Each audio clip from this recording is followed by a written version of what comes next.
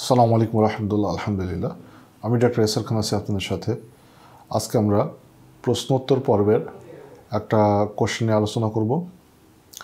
একজন যুবক, সে জানিয়েছে তার আগে একটা খারাপ অভ্যাস ছিল হস্তমৈথুন করতো মাস্টারবেশন তো ইদানিং আলহামদুলিল্লাহ, সে এগুলোর থেকে সে বিরত আছে। কিন্তু তার সমস্যাটা হচ্ছে, সে যখন তার ছোট ভাইয়ের সাথে একত্রে বিছানায় ঘুমায়, ভাইকে যখন সে জড়িয়ে ধরে তার উত্তেজনা তৈরি হচ্ছে, লিঙ্গের মাথা দিয়ে পিছলা জাতীয় পদার্থ বের হচ্ছে। এখন তার বিয়ে করতে ভয় হচ্ছে, এখন করণীয় কি?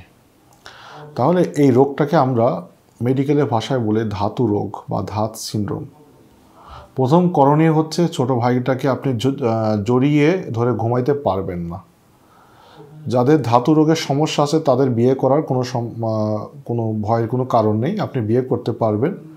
যদি আপনার সম্ভব হয় নিকটস্থ চিকিৎসককে দেখিয়ে কিছু হরমোনাল পরীক্ষা করে আপনি সাপ্লিমেন্টারি খাদ্য, খাবার বা ওষুধ খেতে পারেন। আর এটা সময় বৃদ্ধি করা যাবে, মেলামেশা ইনশাল্লাহ।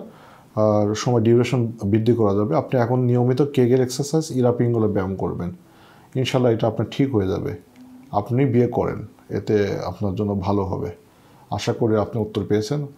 এখানে শেষ করছি। আল্লাহ হাফেজ।